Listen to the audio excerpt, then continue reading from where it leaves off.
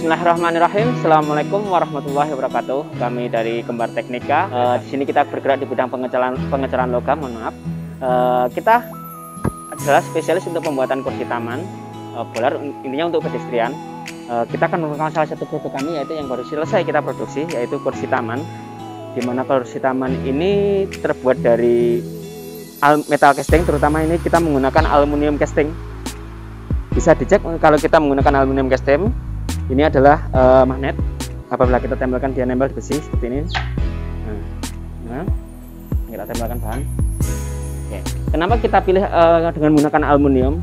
Karena dia lebih ringan terus uh, lebih tahan korosi juga.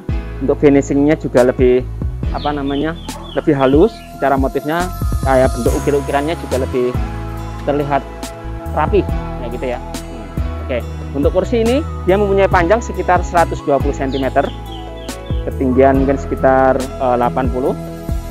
Dan untuk bautnya ini kita lihatkan, ini kita menggunakan baut kuningan. Nah, lebih biar uh, lebih menarik pertama, lebih estetikanya lebih keluar.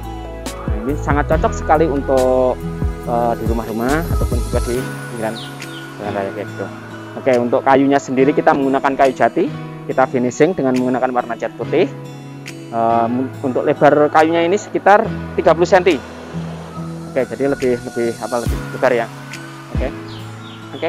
Demikian tadi uh, salah satu perkenalan produk kami yaitu kursi taman uh, dengan panjang 120 cm semoga bermanfaat. Jangan lupa like comment dan subscribe sehingga kita lebih berinovasi lagi lebih berkembang lagi lebih bisa untuk memenuhi segala kebutuhan dari pelanggan-pelanggan kami khususnya untuk dari pihak dinas terkait ataupun dari pihak uh, instansi Sekian, Assalamualaikum warahmatullahi wabarakatuh.